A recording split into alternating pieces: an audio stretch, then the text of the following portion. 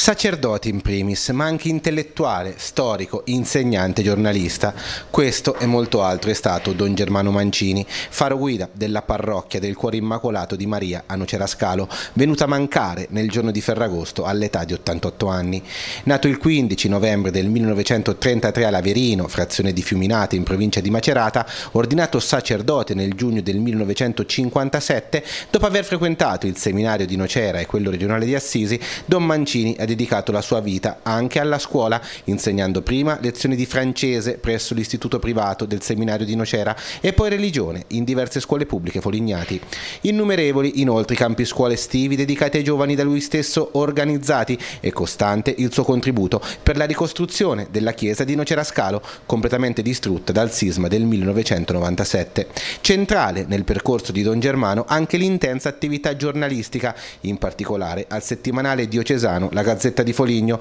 in cui è stato per ben 43 anni svolgendo il ruolo di direttore dal 1976 al 2009, per poi divenire direttore anche del periodico L'Altra Nocera. Un sacerdote d'altri tempi, una guida spirituale di immensa cultura e di infinita umanità, così lo ha ricordato il sindaco di Nocera Giovanni Bontempi. Un giornalista libero, mai asservito al potere e a logiche politiche, ha invece ribadito il sindaco di Foligno Stefano Zuccarini. Era un prete battagliero, ma capace di parlare a viso aperto e di abbandonare qualsiasi rancore rancore, rammenta l'amministratore apostolico Monsignor Gualtiero Sigismondi, presente al funerale, che si è tenuto nella chiesa di Nocerascalo, commessa presieduta dal vescovo di Assisi Nocera Umbra Gualdo Tadino e da poco nominato vescovo di Foligno, Monsignor Domenico Sorrentino, che ricorda le qualità umane e spirituali di Don Germano Mancini.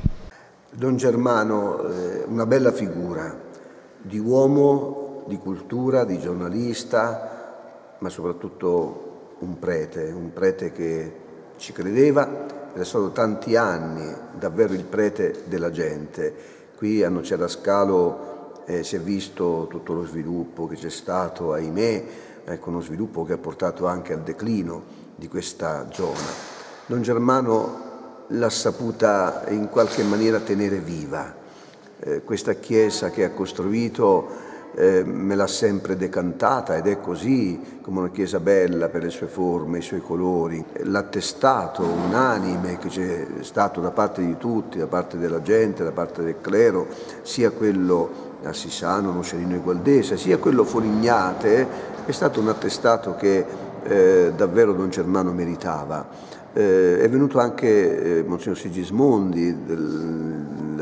l'attuale pastore eh, di, eh, di, Foligno, che si appresta a lasciarmi il pastorale ecco, nella diocesi di Foligno con alcuni sacerdoti, perché Don Germano è stato tanti anni anche direttore della Gazzetta di Foligno ed è stato un, un direttore di vaglia che ha saputo eh, veramente dare eh, lustro a questa testata. Ed è stato un uomo anche battagliero perché Don Germano era tempra, tempra di combattente, è un uomo dunque che eh, con la sua umanità eh, ha saputo testimoniare, accompagnare e segnare tante persone che oggi sentono la sua mancanza, la sentiamo tutti, però l'opera sua rimane, rimane il suo ricordo, poi nella fede rimane la sua presenza, ci mancherà eh, il suo sorriso, i, i, suoi occhi così in, intelligenti, la sua cultura, la sua storia, eh, conosceva questi luoghi davvero come le sue tasche, non, non, gli sfuggiva nulla, conosceva poi il mondo della letteratura francese, no, di cui era molto appassionato e poi a sentirlo declamare dei versi quando parlava di Dante, Intra Tupino e l'acqua. Eh, che,